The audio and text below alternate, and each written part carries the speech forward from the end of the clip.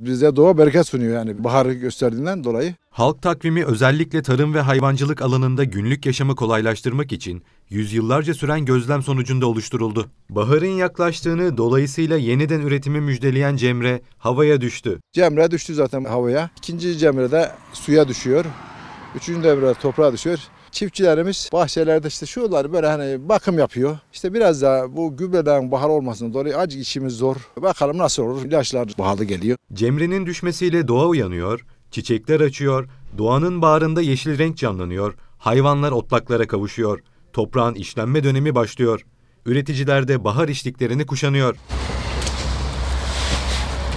Antalya'nın Korkuteli ilçesinde üreticiler kışın son suyunu toprakla ve meyve ağaçlarıyla buluşturdu. Şu anda bahçeyi suluyorum kış suyunu vermek için.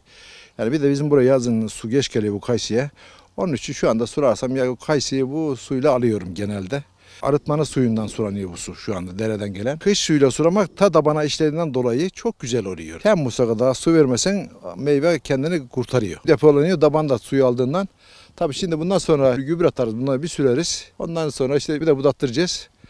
İşte o hazır şey ondan sonra. Meyve cenneti olan ilçede budama zamanı yaklaşıyor. Bahçeler hazırlanıyor, bakımlar yapılıyor. Bakarsın bağ demiş, bakmazsan dağ demiş. Yani eski atalarımız onun için. Bağ bahçeyle, toprağla ilgilenirsen verim alabiliriz. İlgilenemezsen bir şey yok. Bahar sevincine yüksek girdi maliyetleri gölge düşürüyor.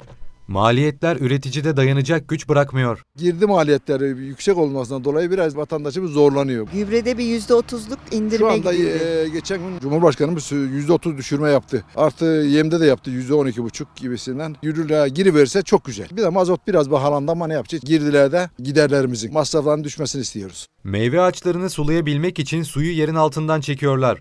Bu durum çiftçinin sırtına bir de elektrik maliyeti yüklüyor.